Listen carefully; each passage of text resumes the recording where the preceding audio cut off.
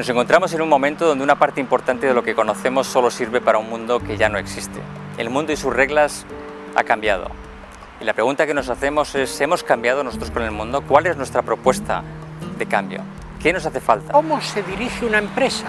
¿Cómo se hace una empresa?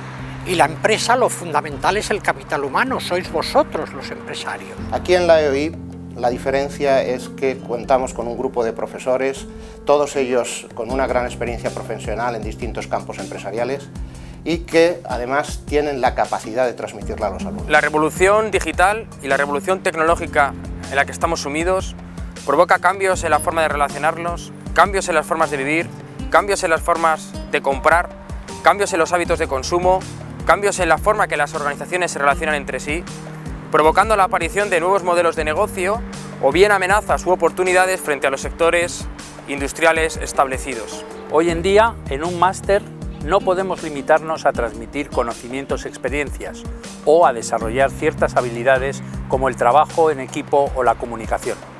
Tenemos que ir un paso más adelante y ayudar a los participantes a que trabajen ciertas áreas como su autoconocimiento, su autoestima, su confianza, su inteligencia emocional y que todo ello lo puedan luego proyectar en su desarrollo personal y profesional.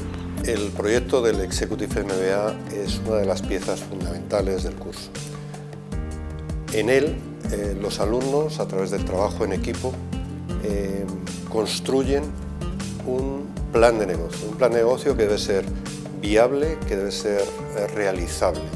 Para ello tienen que aplicar todos los conocimientos del máster, ensamblarlos, integrarlos, analizar otro tipo de variables, aportar innovación, identificar otro tipo de oportunidades y tomar decisiones. La primera fundamentalmente es la pasión. Yo creo que los alumnos salen de aquí con una enorme pasión hacia los proyectos profesionales. El segundo aspecto es la positividad. Tratamos de transmitir al alumno el que sean positivos en cualquier circunstancia. La tercera P es la perseverancia. Al final el concepto de que las cosas se consiguen a través de perseverar de manera sistemática.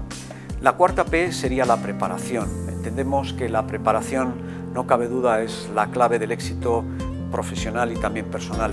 Y por último, hay un elemento común que es la proximidad, la proximidad entre los alumnos, los profesores y entre todo el elenco de personas que forman la EOI y que participan en este Executive MBA.